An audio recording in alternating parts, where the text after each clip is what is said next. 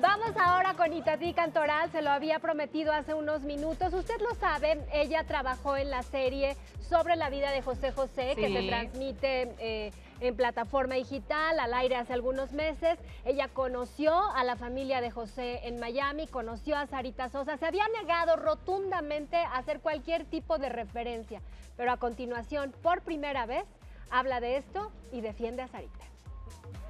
Por fin Itatí Cantoral se atreve a hablar con la prensa de la situación que vivió José José y su padre Roberto Cantoral, pues el tema El Triste fue la melodía que cambió la vida de ambos, sin querer queriendo. Mi papá tuvo mucha suerte, no quería que fuera José José el que cantara el triste porque era muy pequeño.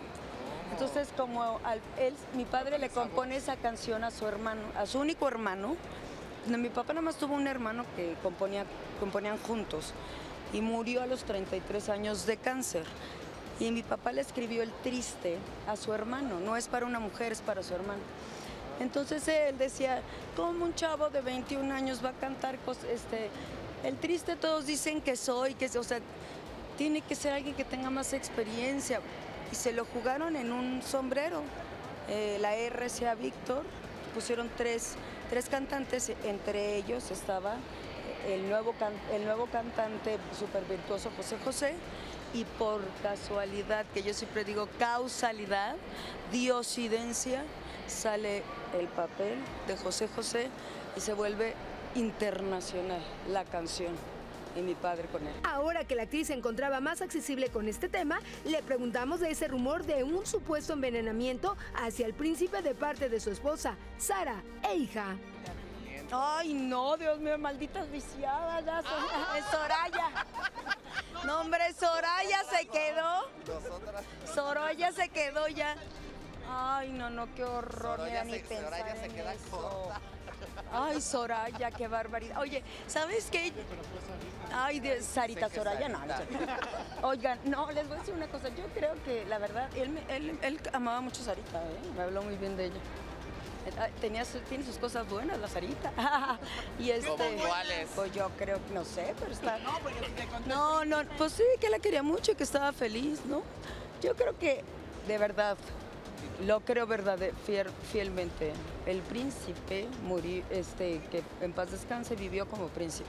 ¿Tuviste buenos Sí, era feliz. Considera la actriz que todo lo que vivió el cantante y más la serie de su vida donde ella interpretó a su primer amor, Natalia Kiki Herrera Calles, lo disfrutó o fue por necesidad económica. La verdad, yo creo que nadie, nadie debe de morir.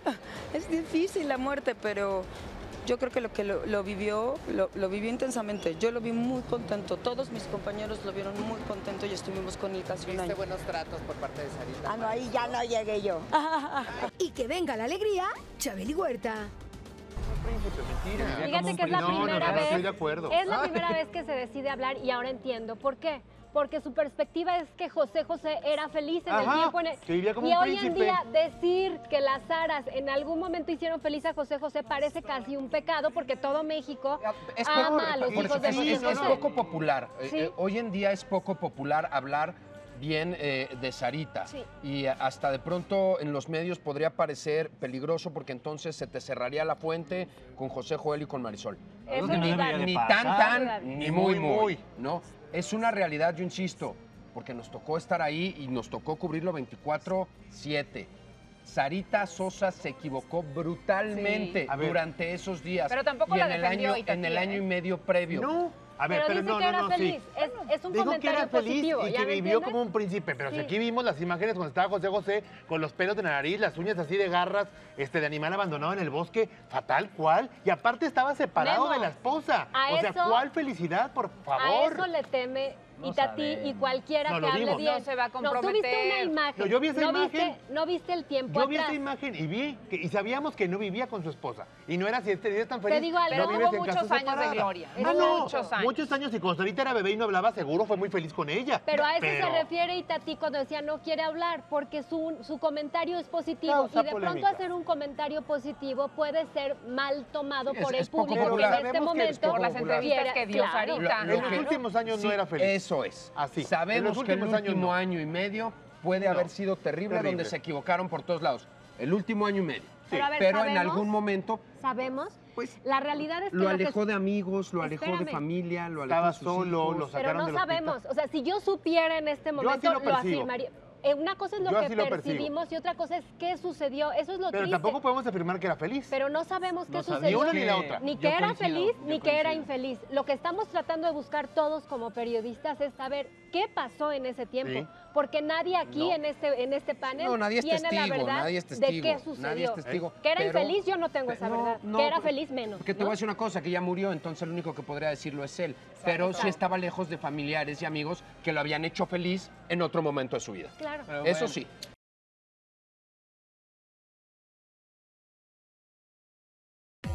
Querida familia de Venga la Alegría, antes de que sigan viendo más videos, tenemos un mensaje muy importante. ¿Ya se suscribieron a nuestro canal de YouTube? Es súper fácil, solo píquenle aquí, abajo en el botón. ¿eh? Así no se perderán los programas, los juegos, los debates. reportajes, la cocina de Mariano y mucho más. Así que ya lo saben, súmense a nuestra gran comunidad de más de 2 millones de suscriptores y recuerden que juntos hacemos que... ¡Venga la alegría!